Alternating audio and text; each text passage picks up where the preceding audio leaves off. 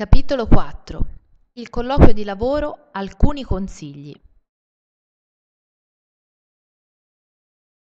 Alcuni segreti per presentarsi al colloquio, ma nei colloqui è necessario assolutamente prepararsi prima.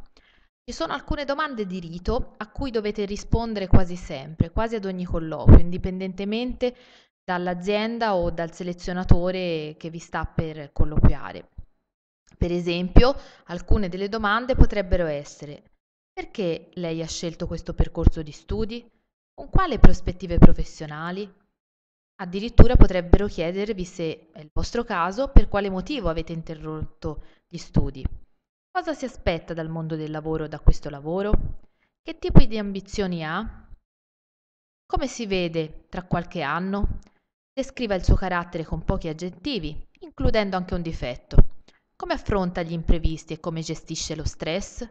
Mi faccia un esempio di un suo successo, oppure di un insuccesso, di un momento critico in cui si è gestito uno stress particolare. Quali sono i suoi interessi?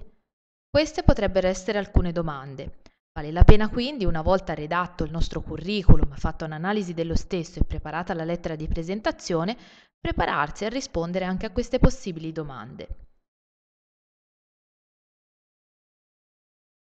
Dosare bene gli ingredienti della nostra comunicazione. Durante un colloquio ci si presenta puntuali e si cerca di mantenere una certa calma. Ovvio, in palio c'è un'offerta di lavoro e quindi potremo essere emozionati, ma dobbiamo cercare di dosare bene gli ingredienti della comunicazione, ovvero la componente verbale. Quanto parliamo e come parliamo è una cosa estremamente importante. La componente non verbale, quanto gesticoliamo e quanto ci muoviamo, a seconda anche delle domande che ci vengono fatte. La componente paraverbale, ovvero il tono della voce, ad esempio, la prossemica, quanto siamo vicini al selezionatore, quanto ci allontaniamo. Di solito è stimato che la componente non verbale è quella che predomina nei colloqui di selezione e che pesa per un 55% e che un selezionatore esperto sa anche riconoscere. A seconda dei nostri movimenti, il selezionatore riesce a capire se siamo emozionati, se stiamo dicendo la verità, se stiamo dicendo una bugia o se siamo eh, troppo sicuri di noi stessi e, mh, mm, o indecisi.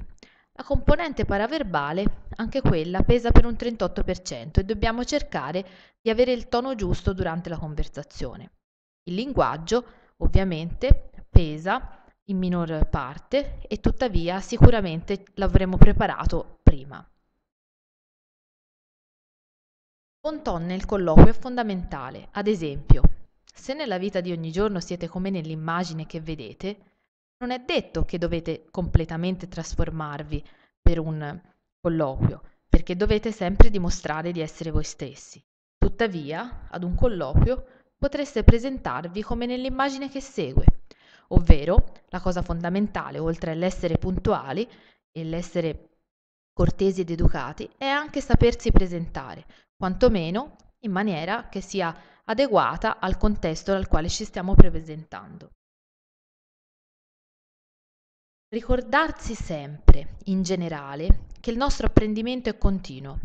Chi non si forma si ferma e che quindi il nostro curriculum deve essere sempre aggiornato di nuove esperienze e di nuovi corsi di formazione. E anche quando avremo trovato lavoro, la formazione è una formazione continua. Dobbiamo cercare di valorizzare le nostre conoscenze e competenze, anche quelle acquisite in contesti diversi, in contesti formali come la scuola e l'università, in contesti informali come il lavoro, in contesti non formali come in famiglia e nel volontariato. Tutto quello che abbiamo appreso deve essere messo in risalto se è fondamentale per candidarsi per quell'offerta. È fondamentale essere aiutati nelle scelte. Esistono dei sistemi per essere orientati, da chi mi posso fare aiutare? Al centro per l'impiego potrete trovare alcune delle informazioni. Gli enti bilaterali sono altri soggetti che si occupano di orientamento alle scelte nei settori. In particolare, l'ente bilaterale del turismo toscano si occupa di orientamento professionale alle scelte nel settore turismo. Autoconsapevolezza. Dobbiamo sviluppare una consapevolezza di quali sono le nostre conoscenze, competenze e abilità di quali sono i nostri limiti, di quali sono le nostre aspettative, di quali sono le nostre potenzialità e di che cosa ci manca per raggiungere l'obiettivo, per far sì che ci possiamo porre degli obiettivi che siano realizzabili. Facciamo sempre quindi una nostra autoanalisi, un bilancio. Se necessario facciamoci aiutare da dei professionisti per sapere quali sono gli, i prossimi step per migliorare il nostro profilo e per aiutarci in una crescita professionale. Il corso termina. Ricordatevi di eseguire il test finale.